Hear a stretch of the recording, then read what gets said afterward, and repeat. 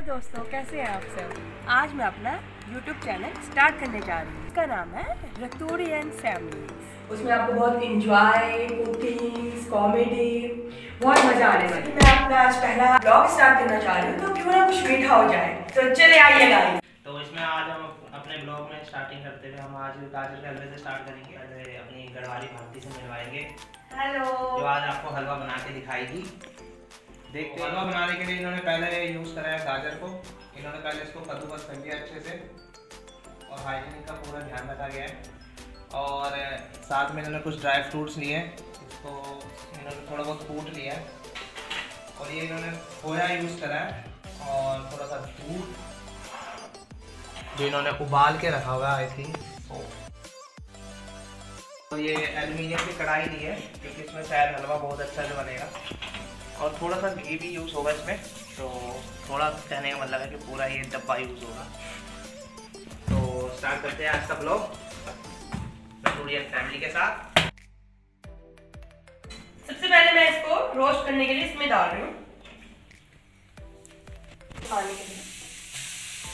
जिससे इसका पूरा पानी है जो मॉइस्चराइज वो सूख जाए। जिससे ये पूरा इसका पानी सोख लेगा। गाजर एकदम खिल के बाहर आएँगे।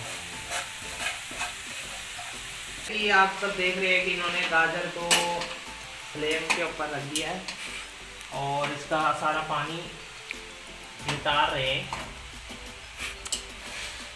नितार रहे गढ़वाली में बोलते हैं तो भारती जी से आज कड़छी नहीं हिल रही बहुत भारी लग रही है ज़ोर लगाया जा रहा है एकदम। पानी को सुखाने के लिए बहुत कड़ी मेहनत करी जा रही है। गाजर का पूरा पानी सूख चुका है। अब जैसे कि मैं घी डालूँगी इसमें। घी आप दो स्पून डाल सकते हैं।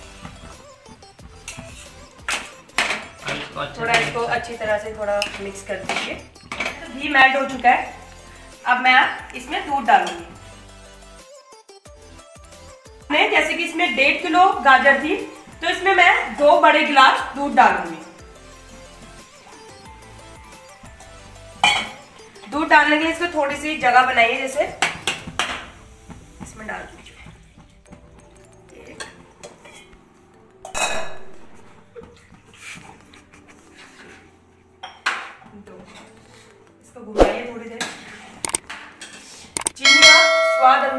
डाल सकते हैं? जैसे आजकल तुम तो पता ही चाहिए लोग शुगर हुई। ड्राई फ्रूट अगर जैसे मैं डाल रही हूँ आप इसको रोस्ट करके, या ऐसे भी, मैंने रोस्ट नहीं किया, मैं इसको सिंपल डाल रही हूँ। इसलिए डाल रही हूँ क्योंकि दूध के साथ ये सॉफ्ट भी हो जाएँगे ड्राई फ्रूट जैसे कि मैंने पहले गाजर के पानी को सुखाया था, अब मैं दूध को सुखाऊँगी। तो सुखाने के लिए हमें थोड़ी देर इसको हिलाना चाहिए। आप जो गैस है उसको सिम कर दीजिए थोड़ी सा, क्योंकि लग जाता है बार बार इसलिए हिलाना चाहिए इसको।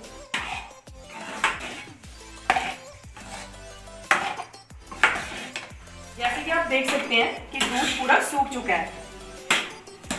इसके बाद हम कलर को और अच्छा होने के लिए और खुशबू के लिए थोड़ा और ऊपर से घी डाल देंगे।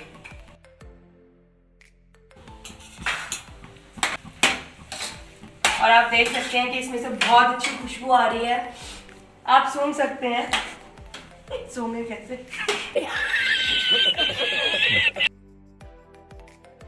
हलवा है, ये दूध भी पूरा सूख चुका है हमारा ड्राई फ्रूट्स ये पूरा कंप्लीट हो चुका है गाजर का हलवा। जैसे कि आप अपने आप लोगों को पता होता है कि घरवालियों में सबसे पहले जो भी मीठा कुछ बनता है तो हम पहले भगवान जी को भोग लगाते हैं। तो इसमें मैंने दो कटोरी में एक माता जी के लिए और दूसरी जो कटोरी है, ये मेरे नाना नानी के लिए। इसके ऊपर खोया डाल रही हूँ। अब मैं माता रानी जी को भोग लगाने के लिए जा रही हूँ।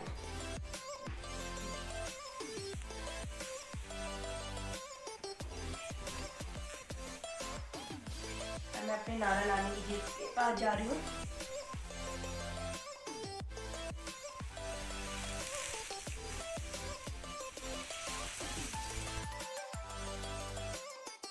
जैसे कि हमारा हलवा हो गया है तैयार तो इसे हम खाएँगे भरपेट मेरे यार। इतना खाएँगे हम! और इसको डेकोरेट करने के लिए मैं ऊपर से खोया डाल दूँगी। चलो अब रसोड़ी एंड फैमिली का हलवा तैयार आपने देख लिया स्वाद ही बना था।